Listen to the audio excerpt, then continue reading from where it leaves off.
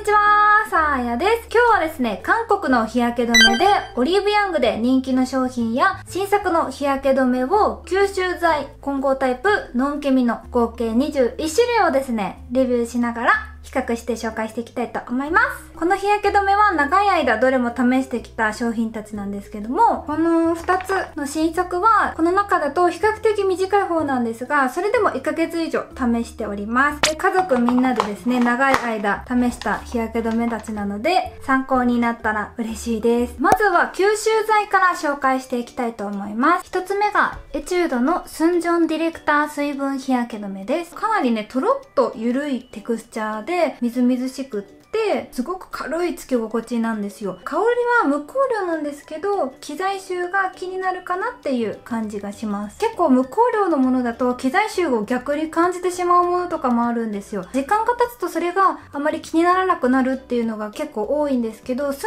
ョンの場合はちょっとその機材臭の香りが長引くような感覚が私的にはしました。パンテノールやマデカスサイド、ツボクサエキスも配合で、お肌の鎮静効果や保湿効果、保護効果がある日焼け止めです。アヌアのドクダミシルキーモイスチャーサンクリームです。こちらもですね、若干機材臭を感じるんですけど、塗っていくうちにちょっと香り飛んでいくような感じはあります。アナといえばね、毒ダミの化粧水が有名だと思うんですが、こちらはですね、毒ダミエキスが30%入っております。その他にも復活層やパンテノール、ナイアシンアミドも入っていて、美白効果や保湿効果もあるような日焼け止めです。で、こちらの日焼け止めは名前の通りですね、本当にシルキーな使用感が特徴で、すごく滑らかで伸ばしやすくってで、メイクとの相性もすごく良かったです。仕上がりはセミマットの仕上がりになります。続いてが、ドクター G のレッドブレミッシュスージングアップ3。内容がちょっと重複するんですけど、こちらもですね、若干機材臭感じるんですよ。でも塗り広げるとあんまり気にならなくなるタイプで、一応無香料です。ドクター G の人気のね、レッドブレミッシュクリームに UV 効果をプラスした製品なんですけども、10種類のツボ草成分とナイアシンアミド、パンテノールも配合されていて、鎮静効果や美白効、果そして保湿効果にも優れた日焼け止めになっております水分感たっぷりでとってもみずみずしくって滑らかに伸びてしっとりと心地のいいような日焼け止めですメイクとの相性も良くって仕上がりはほんのりツヤのあるような感じになるんですけどメイクした後も時間が経ってもテカったりとかもしにくくって良かったです。こちらも乾燥が気になる季節に使ってて使用感もとても良かったです。続いてはあってのビーガンリリーフ酸エッセンスです。韓国のですねオリーブヤングで今ねすごい人気の日焼け止めの一つなんですけども 50ml と 70ml があって私が買ったものは 70ml なので唯一のですねこういったポンプタイプになっております。個人的になんですけどパッケージがすごく可愛いなと思っててこのねレモンクリームみたいな色がすごい可愛いなって思います。ナイアシンアミノで美白シワ改善機能化粧品となっていて保湿効果のあるパンテノールや成分表を見た時に発酵エキスがいくつかあったんですね。スイスの原料メーカーさんと共同開発されたエイジングケアの成分が入っている製品になっております。でお母さんが特にねこの日焼け止めが吸収剤タイプだと一番お気に入りみたいです。使用感としてはすっごく軽いつけ心地でめっちゃ薄付きでフィットするするような使用感なんですよね。日焼け止めを塗ってるような重い感じが全くしない軽い薄膜に貼るような使用感です。私もこのねテクスチャすごく大好きでメイクのノリもいい日焼け止めです。ただ香料が入っているんですよね。この香りで結構好みが分かれてしまうんじゃないかなっていう風に思ってます。香りとしてはお花の香りになるのかな。仕上がりが結構ツヤっとした感じに見えるんですけど触ってみるとすごくサラサラで少し時間が経った時により薄膜にフィットするような感覚があります。テカったりとかもしにくいです。続いては B プレーンのサンミューズモイスチャーです。以前に発売されてたものと中身は同じでパッケージのみリニューアルされた製品です。すごくみずみずしい乳液のようなテクスチャーでこうちょっとねぬるぬるっとした感覚はあるかもしれないんですけど馴染んでいくとしっかりと密着して表面ベタついたりせずにしっとりとしたみずみずしい日焼け止めです。美容成分としては美白成分のナヤシアアミドが配合されております。水分感たっぷりのみずみずしい日焼け止めなので、夏場はね、こうしっとりとしたよりもみずみずしく潤わせたいっていう方もいらっしゃると思うので、そういう方は結構気に入るんじゃないかなっていうような使用感です。続いては、グーダルのドクダミカーミングモイスチャーサンクリームです。こちらもですね、パッケージがね、リニューアルされたんですけど、中身は前のグーダルの日焼け止めと同じものになっております。若干機材臭感じるけど気にならない程度で、ドクダミエキスでお肌に鎮静しながら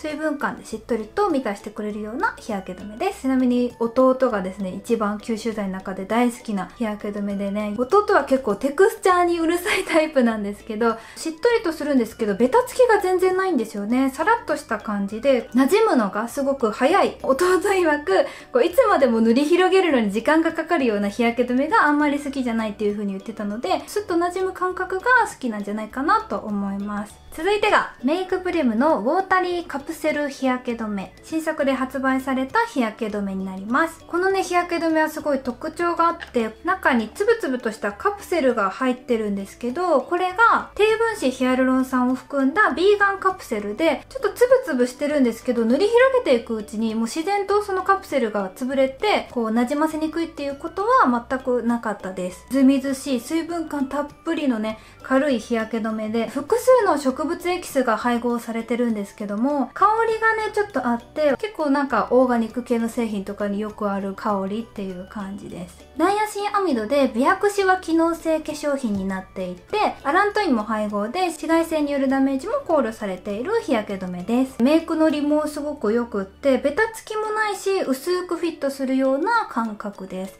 続いてはトコボのバイオウォータリー日焼け止めです。テクスチャーがですね、この中でも一番こう緩くて斜めにするとタラーっと垂れるようなエッセンスのような日焼け止めです。こうね、塗っていくとこう水分が揮発する時にスッとしたようなね、感覚もあって、ちょっとひんやりとしたような感じがすると思います。香料が入っているんですけども、私のこの香りのイメージで言うと、なんかお花屋さんに入った時に、こう草花が水で濡れた時のその香る感じにちょっと似てるかなっていう風に思いました。美白成分のナイアシンアミドや保湿成分のヒアルロン酸や、その他にも植物エキスがですね、結構複数入っているのがこちらの日焼け止めの特徴になります。ベタつき感もなくって、本当になんかスキンケアの延長で使えるような日焼け止めだなっていう風に感じますね。続いては混合タイプの紹介をしていきます。顔に塗った時に色がついたりとか、カバー力の差があるものなので、実際に顔に塗った映像もあるので、比べながら見てみてください。白浮き加減とかも肌トーンによっても感じ方違うと思うので、あくまで参考程度に見ていただけたらなと思います。一つ目が B プレーンのサンミューズトーンアップです。紫外線吸収剤と酸化チタンで構成された混合タイプの日焼け止めで、B プレーンから新しく登場した新作の日焼け止めなんですけど、肌荒れ防止成分のアラントイン配合で、肌の色から浮かない紫色っていうのがコンセプトになっています。カラーコントロールするほど紫の色味が強いというわけではないんですけど、肌のトーンをアップして明るく見せてくれるっていうような感じです。毛穴カバーの効果も結構高くって、だけどこういうところとか角質浮いてきたりとかもしないので、私は結構ね、メイク前に化粧下地兼日焼け止めっていう感じで使うことが多いです。すっぴんで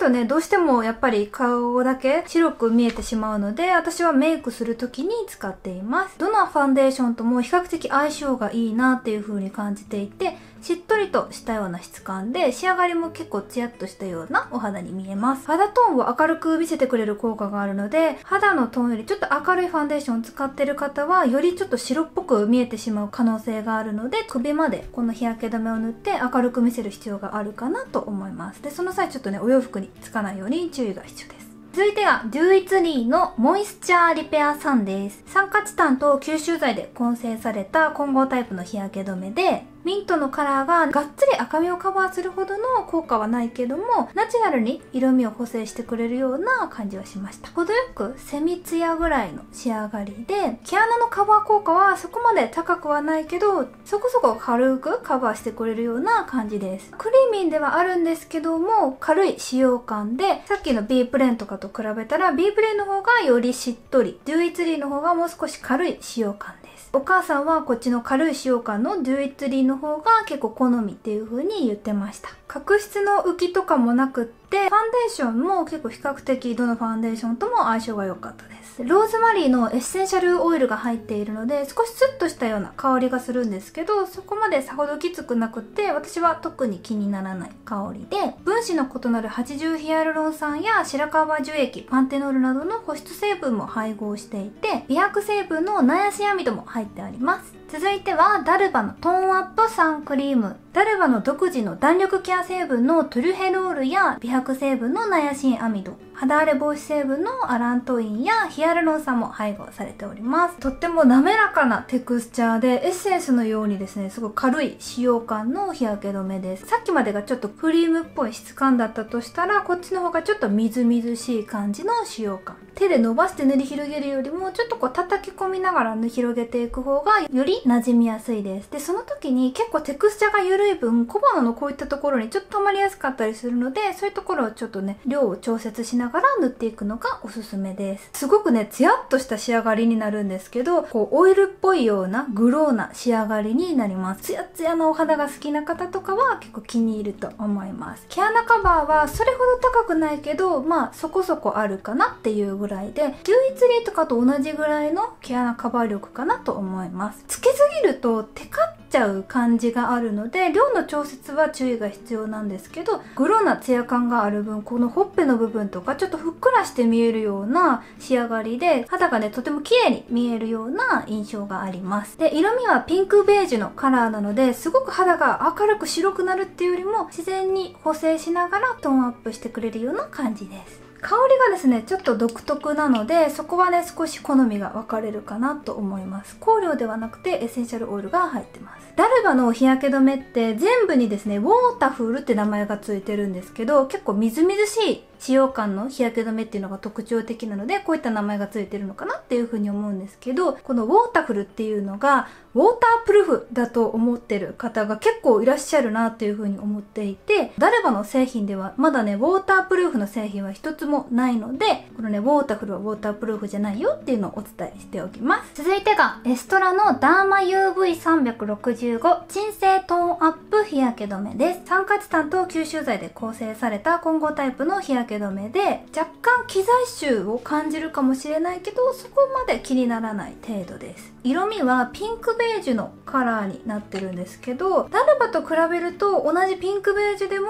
ちょっとねエストラの方が白っぽく感じると思います。テクスチャーがちょっと硬め？すごい硬いわけではないんですけどほんのり硬めなテクスチャーで毛穴カバー力はそこまで高くなくて色ムラを自然に整えてトーンを補正してくれるような効果もあります。つけすぎると結構白くなっちゃうので量の調節は注意が必要です。ほうれい線のところに少し溜まりやすいなっていう風に感じたのと少し口周り乾燥する感があったのでスキンケアはしっとりめにして使うようにしています。仕上がりはマットです。肌荒れ防止成分のアラントインや肌バリアを強化してくれるセラミド NP も配合されております。続いてはノンケミックタイプ紹介していきます。一つ目が、ダルバウォータフルマイルドです。紫外線カットが酸化チタンだけで構成されている結構珍しいノンケミタイプで、結構ね、ノンケミって酸化塩がメインで使われることが多いのですごい珍しいんですよね。で、使用感はこのダルバの特徴的なみずみずしい使用感なんですけど、ノンケミカル特有の硬さ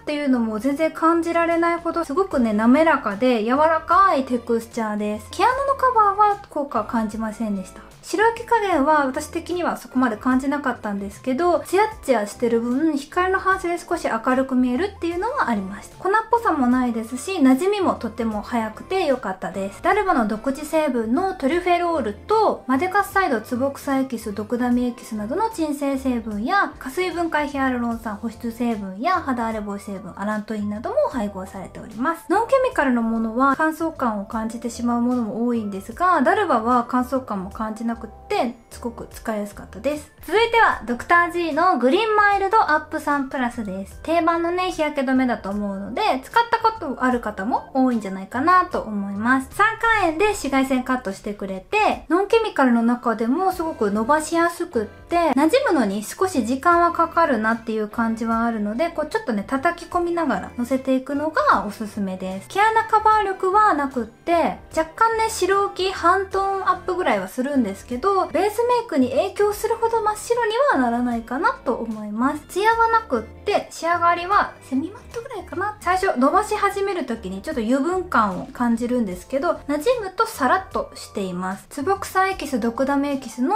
鎮静成分配配合でピクノジェノールっていう抗酸化成分も配合されております。デュイツリーのアーバンシェードアンチポリューション酸です。こちらはですね酸化亜鉛と酸化チタンで紫外線カットしてくれてそれ以外にも自然由来の保湿成分が配合されております。カラミンっていうねピンクの酸化亜鉛の成分がお肌を鎮静しながら自然に肌の色ムラを整えて補正してくれてるような感じがします。ローズマリーオイルが配合されているのでちょっとねスッとした香りもします。で塩感もねちょっとだけスッとするような感じ？最初はちょっと油分感感じるかもなんですけど塗り広げて馴染んだ後は仕上がりはマット。毛穴カバー力もあってで粉っぽくもならなかったです。角質浮きも気にならなかった。トーンは半トーンアップぐらいなんですけどつけすぎると結構白くなるので量の調節は注意が必要です。続いてがイニスフリーのアクティブポアレスサンクリームです。イニスフリーから新しく発売された新作の日焼け止めになります。まだね Qoo点では発売されてなくってオリグロにもねまだ入荷されてないんですけど情報が変わってたらすいませんね。ビューティーコリアで買うことができます。こちらはですね、酸化亜鉛と酸化チタンで紫外線カットしてくれて、最初はパッと見、ファンデフリーの日焼け止めかなとも思ったんですが、そうではなくっ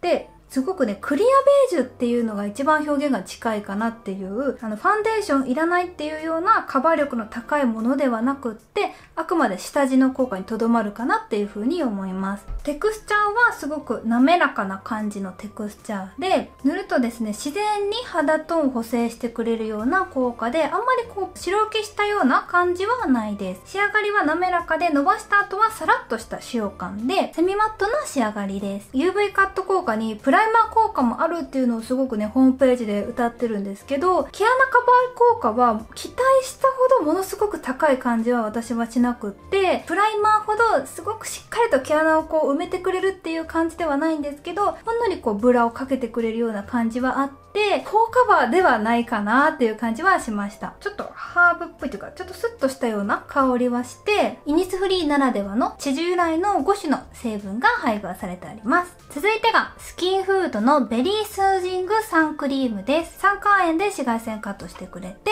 ちょっとね、ほんのりやっぱ、ノンケミ特有の硬さはあるけれども、こう、クリーミーな質感という感じで、塗り心地も良かったです。毛穴カバーはまあ、中ぐらい？半トーンぐらい白浮きするかなっていう感じです。これはね色とかが入ってるわけでもないし補正効果は別にないんですけどセミツヤな感じがちょっと肌ほんのり綺麗に見せてくれるような感覚がありました。インディアングーズベリーっていうのがねここの絵にも書いてあるこの日焼け止めの一番ね特徴的な成分なんですけどもビタミン C が豊富に含まれた抗酸化作用に優れたベリーだそうです他にも複数のベリーが入った特徴的な日焼け止めになっております。続いては、グーダルのドクダミカーミングミネラルフィルター。酸化亜鉛で紫外線カットしてくれて、ちょっとね、塗るときにひんやりとスッとするような感覚があります。硬さは柔らかくもなく硬すぎずもなく、ドクター G の日焼け止めとちょっとね、テクスチャーは似てるような感じがあって、でも、馴染みの速さはグーダルの方が馴染ませやすいというか、早く馴染む感じはします。粉っ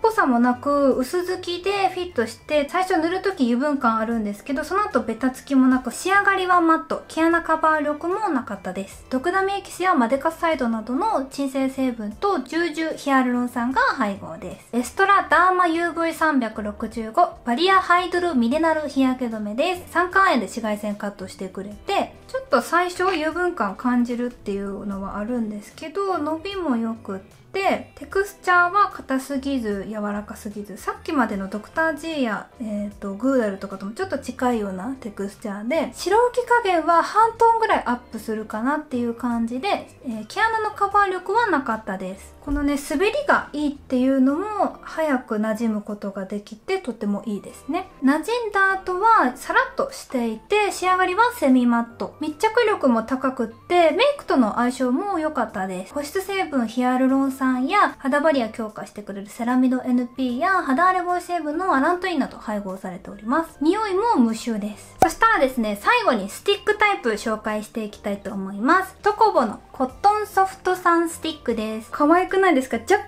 レトロ感もあって、パステルカラーな感じとレッドのね、ロゴがすごくね、トコボ可愛いなっていう風に思うんですけど、サラサラ仕上がりのパウダー入りになっていて、つけた時にものすごくサラッサラなのが特徴的です。これ使ってるからここの部分がなだらかになってるんですけども、開けたばっかりの時はここがもう少し角張った感じになっていて、その時塗った時にすごく塗りづらいなっていう感じがしたんですね。使っていくうちになだらかになって、その突っかかりっていうのがなくなって塗りやすくなりました。で、スティックでもこう密着してクーッといくっていうよりは肌の上をサラサラサラサラスルスルスルスル滑っていくような塗り心地なので、スティックの中でもベタつくのは嫌だ。とにかくサラサラしたのが好きっていう方は結構好きなんじゃないかなと思います。これ結構香りがあってちょっとね甘い香りがするんですよね。濃い香り？なんか海外のお菓子っぽいような香りがするので結構私はスティックタイプは顔とかには塗らなくって、まあ、こっから下に使ってるんですね。例えば腕とか全体塗ると結構香っちゃうんですよね。そこが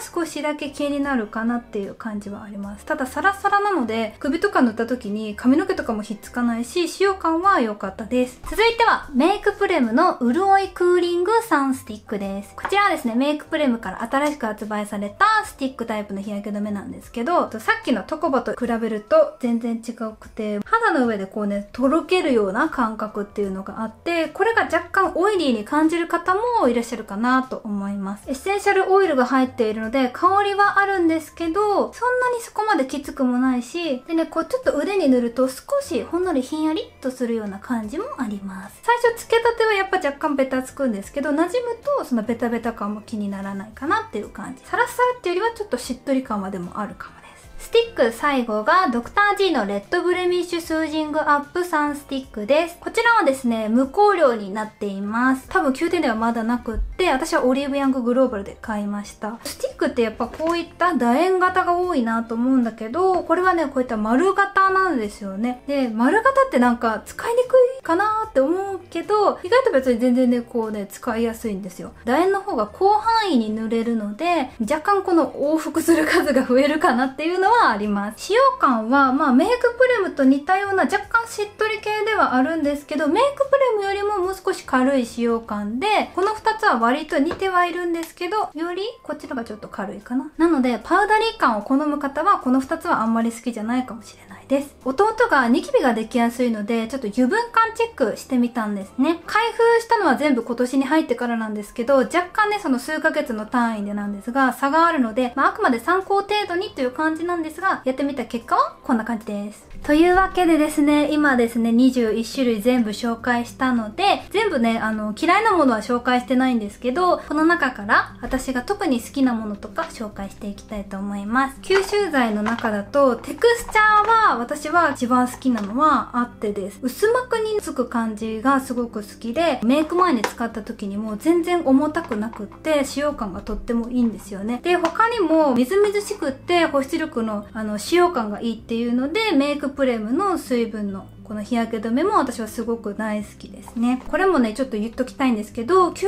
剤の成分はやっぱり敏感肌でも特に吸収剤の成分が合わないっていう方もいらっしゃるだろうし、私が今回紹介したものは自分自身は目に染みたりした経験はないんだけども、口コミとかを見た時に一つ以上はやっぱ目に染みたっていう口コミがあるんですよね。なので、どんなものにも言えることなんですけど、目に染みるとか、あの、個人差があるので、あの、私は大丈夫だったけど、全ての方に合うよっていうわけではないのだけ伝えておきます。スティックの中だと私が一番好きなのはドクター G ですね。すごく使用感がサラサラすぎず、しっとしとすぎず、良かった。形が丸じゃなくて、こっちの形も出してほしいなーなんては思っております。でも、容量もね、スティックの中では、まあ、形の問題もあるかもだけど、一番多いんですよね。そこも気に入ってます。混合タイプで私が一番好きなのは、B プレーンの紫色の日焼け止めです。混合タイプの中でも一番しっとりするようなテクスチャー、使用感っていうのが気に入っていて、こう、ほんのりツヤのあるような仕上がりが好きなので、ここがですね、私はすごい良くてて、あとは、これ使う時は、私はファンデーション、ちょっとなんか、黄身を感じるようなファンデーションと